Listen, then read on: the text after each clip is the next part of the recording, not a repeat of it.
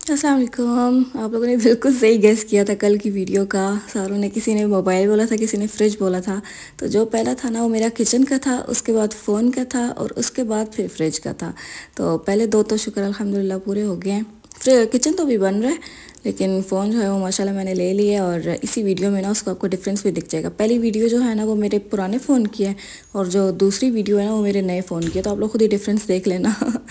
माशाल्लाह, बहुत अच्छा फ़ोन मिल गया, शुक्र अल्हम्दुलिल्लाह। और बस अल्लाह का एक करम होता है हम सब पे, अगर हम लोग मेहनत करें ना तो मेहनत करने वालों की मैं कहती हूँ, कभी भी हार नहीं होती है। स्ट्रगल ज़रूरी होती है, कभी भी शॉर्टकट्स आप लोग ना अपनाएँ, हमेशा, क्योंकि ना शॉर्टकट्स का फ़ायदा ही नहीं है। कोई चीज़ भी ना आपको ऐसी प्लेट में रख के कभी भी नहीं मिलती है। आप लोगों को उसके लिए मेहनत करनी पड़ती है, स्ट्रगल करनी पड़ती है, तब जाके वो आपको मिलती है। ठीक है? क्योंकि ना, आप, मेरी एग्जांपल आप लोगों के सामने मैं तो हर वीडियो में ही अपना बताती रहती हूँ। लेकिन हर किसी का अपना होता है, ठीक है? आप लोग, मैं तो कहती हूँ कभी ना आप लोग किसी को पी भी ना भेजें। क्योंकि आप लोग को मैं एक खुशी बताऊँ अपनी, मेरी क्या खुशी है कि मैंने आज तक कभी भी कोई पेड प्रमोशन नहीं करवाई है, ना कभी किसी को पीआर भेजा है। ये जो सारी मेहनत है ना, ये मेरी खुद की है और मैं ये चीज़ ना प्राउडली कहती हूँ कि ये मेरे जो सक्सेस है ना, उसमें किसी का और हाथ नहीं है सिवाय मेरी फैमिली के। और किसी का नहीं है सच सिर्फ़ अल्लाह ताला ने मेरा साथ दिया और मेरे घर वालों ने और मेरे जो है ना सारे ख़ानदान वाले, उन्होंने लाइक मुझे मोटिवेट किया। ये सारी मेरी खुद की मेहनत है और आपको ना स्ट्रगल करनी पड़ती है, कोई आपको आगे लेके नहीं जा सकता ठीक है? अव्वल तो ये लोग रिप्लाई नहीं करते हैं, अगर आप किसी को पीआर भेजना लगे। मैंने दो तीन को किया था, शुक्र है कि उन्होंने रिप्लाई नहीं किया था, वरना मैं भी उन्हीं पे डिपेंडेंट रहती। और मैं जो हूँ ना, जो हमारी यंग जनरेशन उनको यही कहूँगी कि आप लोग अभी से शुरू हो जाओ काम करना। आप लोग इस चीज़ का वेट ना करो, हम लोग पूरा पढ़ लेंगे, तब जाके हम लोग कुछ कर पाएँगे। नहीं, ऐसा कभी भी नहीं होता है। मैं कहती हूँ, आजकल जो मैट्रिक पास लोग हैं ना, वो डिग्री, पूरी बी की डिग्री करने वालों से ज़्यादा कामयाब है। आजकल के बच्चे माशाला इतने होशियार हैं ना, कि वो अगर किसी चीज़ को पकड़ लेना, ये हो ही नहीं सकता वो कामयाब ना हो।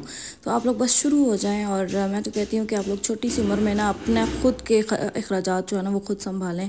माँ बाप पर डिपेंडेंसी जो है ना आप लोगों की, वो छोड़ दें बिल्कुल। और पीछे मेरे बलूंगड़े के देखें करतब क्या कर रहे हैं। मुझे वीडियो एडिट करते हुए इतनी हँसी आ रही थी ना, क्योंकि इसको बिल्कुल फास्ट फॉरवर्ड पे लगाया हुआ था और वो ऐसे भाग रहा था और मुझे इतनी हँसी आई थी ना इसको देख के। अच्छा आप लोगों ने जब ये ड्राइंग करनी हो ना तो आप लोग ना इसको पहले एक स्केच कर लिया करें उससे टूथ पिक से कर लिया करें या किसी भी चीज़ से, ताकि ना जब आप लोग इस पर फाइनल ड्राइंग करें ना तो आप लोगों के लिए ईजी हो। ये भी उन्होंने पिक्चर भेजी थी, इतने प्यारे रिव्यूज़ भेजा थे। असल में ना इनका जो ऑर्डर था ना, वो भी काफ़ी ज़्यादा अर्जेंट था। तो जो मैंने बेकिंग कल के लिए की हुई थी ना तो उस उस पॉन से ना फिर मैंने इनका बना के दिया था तो वो काफ़ी ज़्यादा उस चीज़ के लिए थैंकफुल थी कि आपने मेरा इतना अर्जेंट ऑर्डर एक्सेप्ट किया। असल में ना वो मुझसे एक दिन पहले की लगी हुई थी। लेकिन पेमेंट जो थी ना वो उन्होंने बिल्कुल आखिरी थी दो दो घंटे था शायद थे उनमें भेजी थी। तो फिर मुझे उन्हीं दो घंटों में फ़ाइनल करके भेजना था उनको। क्योंकि अगर होना स्पॉन्ज वगैरह ना बने हुए, फिर तो चलो पॉसिबल नहीं होता। लेकिन स्पॉन्जेस बड़े पड़े हुए थे तो मुझे ऐसे फिर ना करना अच्छा नहीं लग रहा था। तो अगर स्पॉन्जेस वगैरह पड़े हुए हैं ना तो आप लोग फिर बना के दे दिया करो। वैसे भी स्पॉन्जेस दोबारा बन सकते हैं, लेकिन अगर नहीं बन सकते दोबारा तो फिर तो ये है कि मना करना मजबूरी हो जाती है। वैसे भी दो घंटे के नोटिस पे बंदा कैसे करे? अच्छा खासा स्पॉन्ज को सेट करना पड़ता है, उसके बाद सारी आइसिंग वगैरह करके भी सेट करना पड़ता है थोड़ी देर। तो लेकिन ये था कि मैंने कर दिया था, क्योंकि मैंने जो है ना, ये सारी जो ट्रफल कोटिंग होती है, सारी एक दिन पहले ही कर लेती हूँ। तो इसलिए मेरे लिए फिर ईजी था उनका ऑर्डर एक्सेप्ट करना, वरना फिर मैं नहीं करती हूँ, अगर मेरे पास ना स्पॉन्जेस अवेलेबल होना कुछ। तो इसी तरह ना एक दो दिनों के बाद एक और केक शेयर करूँगी, उसमें भी ना उन्होंने बिल्कुल अर्जेंट दिया था तो उसमें भी बेकिंग हुई पड़ी थी।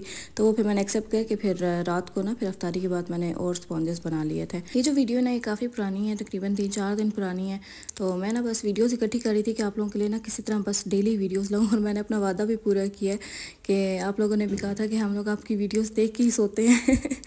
तो इसलिए फिर मैंने कहा, नहीं, ऐसे अच्छी बात नहीं है कि बंदा वो करे, ना खाई करे। तो मैंने फिर ना कम वीडियो शेयर की थी लाइक एक वीडियो में कम केक शेयर किए थे, लेकिन जो है कि मैंने रेगुलरली माशाल्लाह पोस्ट किया था और आप लोगों ने भी इतना प्यार दिया था। बाकी ये जो ये जो वीडियो बनाई है ना मैंने न्यू फ़ोन से बनाई है। बाकी फ़ोटोग्राफी तो थी ना, वो मैं कल कल वाले केक से लेकर ना आज तक मैं इसी फ़ोन से करी थी लेकिन वीडियो जो है ना वो मैंने इस केक से स्टार्ट की थी। तो ये आप लोग देख लें पुरानी वाली भी जो मैंने पहले शेयर की वो भी देख लीजिएगा डिफरेंस वगैरह।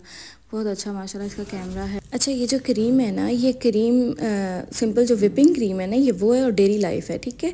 ये बटर क्रीम नहीं है मैं बस क्रीम के अंदर ना थोड़ा सा येलो पाउडर कलर डाल देती हूँ जो जर्दे वाला होता है ना बिल्कुल थोड़ा सा डालना होता है। अगर ज़्यादा डाला ना तो बहुत ज़्यादा येलोइश हो जाएगा दूसरा नमकीन हो जाएगा। तो मैं वो बिल्कुल थोड़ा सा डाल के ना ऑफ़ वाइट बनाती हूँ क्योंकि ना मुझे वो दूसरा वाइट कलर पसंद नहीं है क्रीम का, ये बहुत ज़्यादा रिलैक्सिंग होता है। और बाकी मैं ये भी देख लेती हूँ कि, जो केक का डिज़ाइन है, उसमें कौन सा सूट करेगा? वाइट सूट करेगा या ऑफ़ वाइट सूट करेगा? अगर आप लोगों को भी मेरी तरह ना वो क्रीम का वाइट कलर नहीं पसंद तो आप लोग ना ऐसे ही ऑफ़ वाइट उसको बना के ना आप लोग कर सकते हो। क्योंकि ना ये कलर बहुत ज़्यादा रिलैक्सिंग होता है। मुझे ना इसको देख के आँखों को सुकून मिलता है। सच्ची में वो जो वाइट कलर होता है ना, वो बहुत ज़्यादा चुपता है आँखों में। तो इसलिए बाकी ना बटर क्रीम केक्स जो है ना वो मैं इंशाल्लाह इतनी सर्दियों में स्टार्ट करूँगी, अभी गर्मियों में नहीं स्टार्ट करी क्योंकि गर्मियों में ये होता है कि बटर क्रीम तंग बहुत ज़्यादा करती है।